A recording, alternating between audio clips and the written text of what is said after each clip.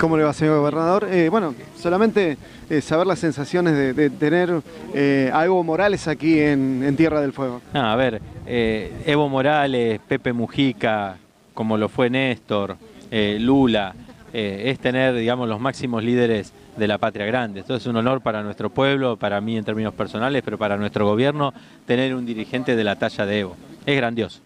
Sintió él emociones del estar aquí en Tierra del Fuego y lo dijo, lo transmitió a través de sus palabras. ¿Y eso significa muchísimo para usted que es gobernador de la provincia? Sí, para todos los habitantes de Tierra del Fuego. Digo que, que alguien como él diga que se siente honrado, se siente emocionado de estar acá, es fantástico. Que diga que la belleza natural que tiene Ushuaia, que es única, digo, es fantástico. Así que creo que hay que agradecerle, acompañarlo, eh, acompañar al pueblo boliviano digo, porque se ha roto la democracia, se han roto las instituciones, pero ser agradecidos de que haya decidido venir a nuestra tierra. Pero eso demuestra también que, bueno, eh, se abraza al pueblo boliviano en este lugar tan maravilloso. Sí, es un pueblo trabajador, un pueblo de mucho esfuerzo, mucho sacrificio.